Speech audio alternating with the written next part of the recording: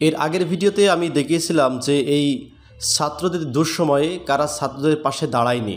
তো আজকের ভিডিওতে আমি দেখাবো যে ছাত্রদের এই বিপদে, ছাত্রদের এই দুঃসময়ে বাংলাদেশের যেসব সেলিব্রিটি যেসব কন্টেন্ট ক্রিয়েটার যারা ছাত্রদের পাশে এসে দাঁড়িয়েছে, দেখেন ছাত্রদের পাশে দাঁড়ানোর জন্য কোনো দল করা লাগে না। নিজের মধ্যে যদি একটু মনুষ্যত্ব থাকে ন্যায়কে ন্যায় আর অন্যায়কে অন্যায় বলার সৎসাহস এইটুকু যদি আপনার মধ্যে থাকে, তাহলে আপনি কিন্তু ছাত্রদের পাশে দাঁড়াতে পারবেন। ঠিক তেমনই একজন সেলিব্রিটির নাম হলো সালমান মুক্তাদির, যাকে আমরা বলি বাজে ছেলে, খারাপ ছেলে। তো আমি গত ভিডিওতেও কিন্তু বলেছিলাম যে এই বাজে ছেলেটা, এই খারাপ ছেলেটা এই শিক্ষার্থীদের সবচাইতে খারাপ সময় পাশে দাঁড়িয়েছে।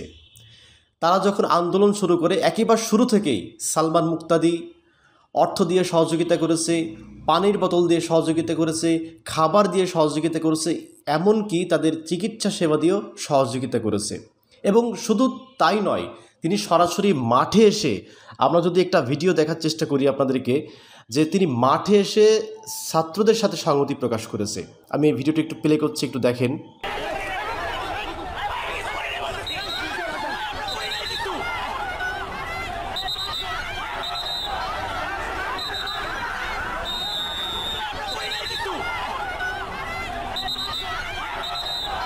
তো এটাই হচ্ছে সালমান মুক্তাদির। যিনি আইসি জীবনযাপন ছেড়ে ছাত্রদের এই দুঃসময়ে তাদের পাশে দাঁড়িয়ে তাদের সাথে একত্রতা ঘোষণা করেছে, সংহতি প্রকাশ করেছে। তো প্রিয় দর্শক, এই সালমান মুক্তাদি সম্পর্কে যদি আপনার কোনো মন্তব্য থাকে, তাহলে অবশ্যই কমেন্ট করে জানাবেন। ছাত্রদের এই যৌক্তিক কোটা আন্দোলনে আরেকজন সেলিব্রিটি, কন্টেন্ট ক্রিয়েটার, সাধারণ শিক্ষার্থীদের পাশে দাঁড়িয়েছে। আর তাকে আপনারা অনেকেই চেনেন, তিনি হলেন কাফি ভাই, যিনি তার যৌক্তিক দরবারে নানা রকম কথা বলে উপস্থাপনা করে থাকেন।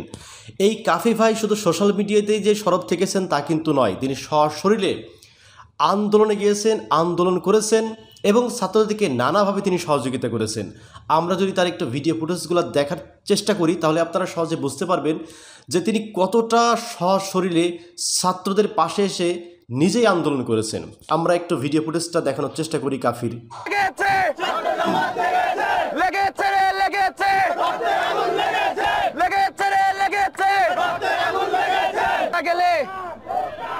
তো এটাকেই বলে মনে হয় পাওয়ার অফ কাফির। কাফি গেলে ইন্নালিল্লাহ বলে আর কারা যেন মারা গেলে আলহামদুলিল্লাহ বলে পুলিশ কোন তেজের বল জি জি হাসিনা লজ্জায় বাঁচিনা আমার বোন মরল কেন তো এতক্ষণ পর্যন্ত আপনারা যারা ভিডিওটা দেখলেন ফুটেজে, এটা হচ্ছে কাফি ভাই। যিনি নিজেও একজন বিশ্ববিদ্যালয়ের শিক্ষার্থী এবং কন্টেন্ট ক্রিয়েটার বাংলাদেশের জনপ্রিয় কন্টেন্ট ক্রিয়েটার বাংলাদেশে অসংখ্য কন্টেন্ট ক্রিয়েটার আছে। যারা বিপদে ছাত্রদের এই আন্দোলনে কখনো পাশে এসে দাঁড়ায়নি। হয়তো তার ফেস থাকবে না বা তার চ্যানেল ডাউন হয়ে যাবে বা সে কারও রসনালি পড়তে পারে এই ভয়ে। অথচই কাফি সরাসরি তিনি তার স্লোগান, তার মুখ থেকে আওয়াজ উচ্চারণ করেছে, রাজপথে এসে ছাত্রদের সাথে তিনি নিজেই আন্দোলন করেছে।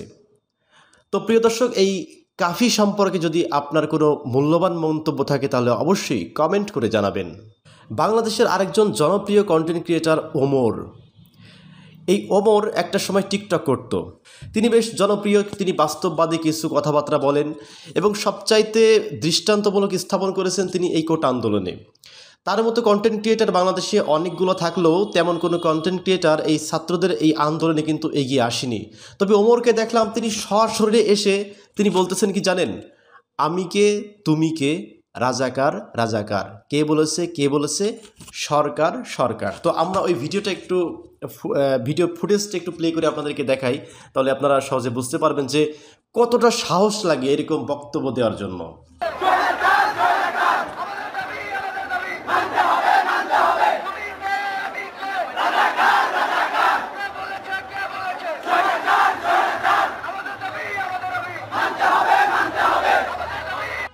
এটা হচ্ছে ওমর। ওমরের ফুটেজটি আপনাদেরকে আমি দেখালাম। এরপরে বাংলাদেশের জনপ্রিয় অনেক সিঙ্গার আছে তাওসান আছে, এরপরে যে কিছুদিন আগে একটা গান রিলিজ হলো, না, প্রিয়তমা, বালাম আছে, এরপর অসংখ্য শিল্পী আছে, সমস্ত শিল্পী ছাত্রদের পাশে না দাঁড়াল এই তাশরিফ খান। একেবারে শুরু থেকে, তিনি ফেসবুক স্ট্যাটাসের মাধ্যমে কিন্তু শুরু থেকে আছে, অনেকে হয়তো তাশরিফ খানের ছবি দিয়ে বলতেছেন যে তাশরিফ খান এই আন্দোলনে ছাত্রদের পাশে নেই। তিনি শুরু থেকে, তার যদি ফেসবুক পেজটা আপনি একটি স্ক্রল করে দেখেন, তাহলে বুঝতে পারবেন তিনি শুরু থেকে ছাত্রদের যে যৌক্তিক আন্দোলন ছাত্ররা করে যাচ্ছে, তিনি শুরু থেকে ছাত্রদের যৌক্তিক আন্দোলনকে সমর্থন দিয়ে যাচ্ছে এবং বিভিন্ন লেখার মাধ্যমে তিনি ছাত্র সমাজকে কিন্তু উদ্বুদ্ধ করে এসেছে। তো বাংলাদেশে অসংখ্য গায়ক, জনপ্রিয় গায়ক থাকলেও সমস্ত গায়ক কিন্তু আপনার হচ্ছে ছাত্রদের পক্ষে আসেনি। এসেছে কে? তাশরিফ খান।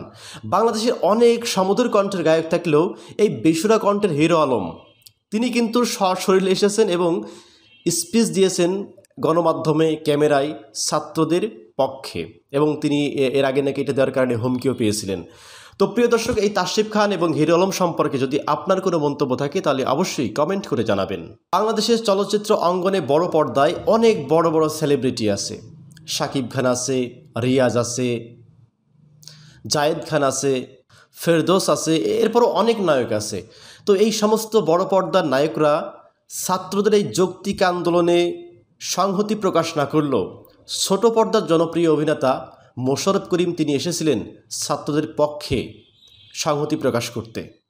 তিনি বলেছেন যে ছাত্রদের যে আন্দোলনটা করছে, এটা যৌক্তিক আন্দোলন এবং এই আন্দোলনটাকে তাদের তাদের যে দাবি দেওয়া, এটা মেনে নেওয়ার জন্য তিনি সরকারকে আহ্বান জানিয়েছেন।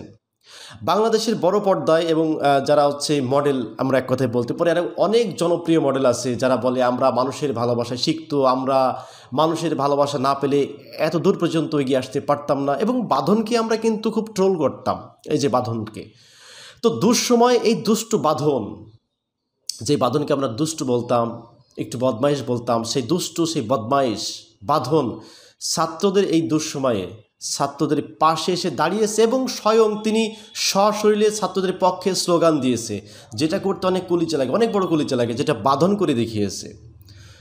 তো প্রিয় দর্শক, এই বাঁধন সম্পর্কে যদি আপনাদের কোনো মন্তব্য থাকে, তাহলে অবশ্যই কমেন্ট করে জানাবেন।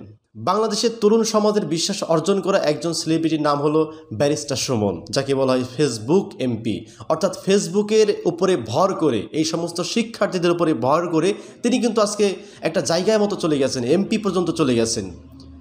তিনি সবসময় যৌক্তিক কথা নিয়ে কথা বলতেন সমাজের বিভিন্ন চিত্র বিচিত্র তিনি তুলে ধরতেন, দুর্নীতি নিয়ে কথা বলতেন, ন্যায় নিয়ে কথা বলতেন, অবিচার নিয়ে কথা বলতেন।